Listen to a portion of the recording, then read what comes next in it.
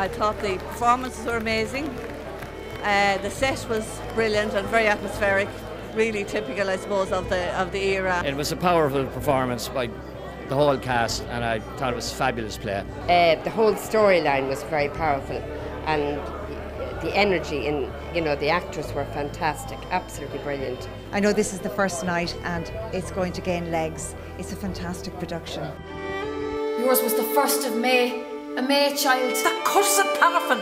And you can get up for a while.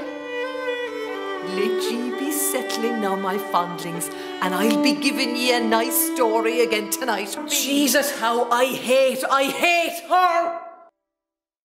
Well, I suppose we all know that's involved in Irish theatre the legend that Tom Murphy is, so I suppose any opportunity you get as a theatre director to work on one of his plays, it's something you grasp with both hands, and especially one like Bailegangaire.